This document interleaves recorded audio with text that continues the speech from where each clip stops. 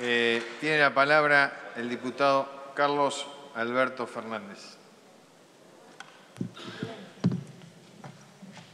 Voy a hablar de un tema que normalmente no resulta central en la discusión presupuestaria. Tampoco resulta central en la discusión pública.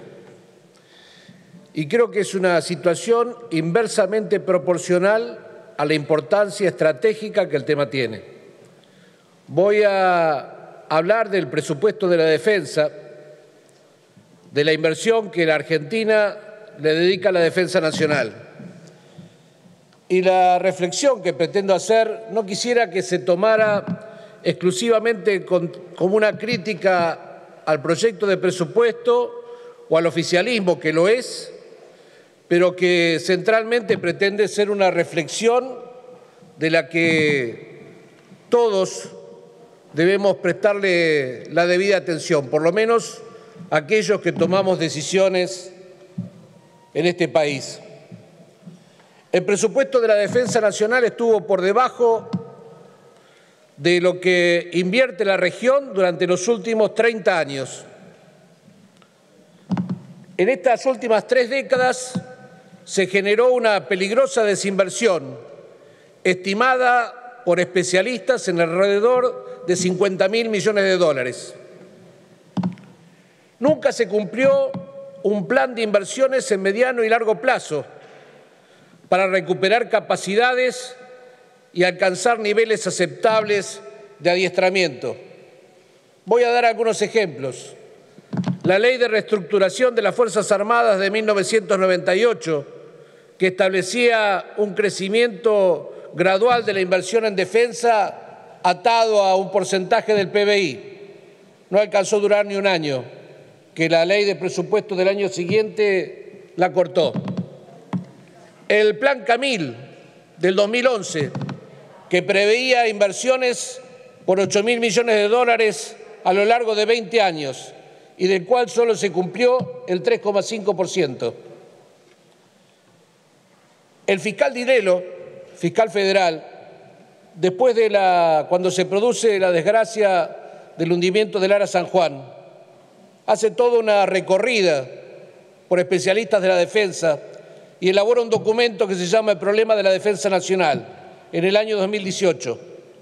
Señaló allí, tenemos una diplomacia sin fuerzas armadas, que es como tener una sinfonía sin orquesta, o sea, un montón de papel que no posee ninguna utilidad. Con este presupuesto que vamos a aprobar es imposible alcanzar los estándares internacionales en cuanto a la distribución que establecen el 70% del gasto en personal, el 15% en adiestramiento y funcionamiento y el 15% en equipamiento. Más del 90% de nuestro presupuesto está destinado a personal. La realidad es que no hay indicios de que vayamos a llegar en los próximos, en el próximo lustro al 1,5% del PBI en inversión en la defensa nacional que preveíamos como país en el libro blanco de la defensa en el año 2010. En las 1929 páginas del presupuesto presentado ante este Congreso se habla de la soberanía económica, financiera y comercial. No hay un solo párrafo en las 1929 páginas destinadas a la soberanía territorial, en lo que hace a la defensa del espacio terrestre, marítimo, aéreo, la ciberdefensa o el ciberespacio, a la protección de los recursos naturales y estratégicos soberanos de la República Argentina. Pareciera que el concepto de soberanía solamente se lo considera exclusivamente desde lo económico financiero. El largo proceso de deterioro tiene como consecuencia que nuestras Fuerzas Armadas no estén en condiciones materiales de cumplir su misión principal y garantizar el control de nuestros espacios soberanos. Argentina es uno de los ocho primeros países del mundo en cuanto al valor presente y futuro de sus recursos naturales. ¿Será prudente seguir debilitando su brazo armado? Tomaré un solo ejemplo para graficar lo que acabo de decir. Dentro de poco tiempo, la flota pesquera china, compuesta por alrededor de 300 barcos, que hoy están frente a las costas de Chile, entre 30 y 60 días las vamos a tener en la milla 200 de nuestro mar austral. Y allí, si no existe el control adecuado, van a terminar depredando, como sucede habitualmente, nuestra riqueza histícola. Se calcula en 800 millones de dólares por año la pérdida que tenemos de recursos por la pesca ilegal.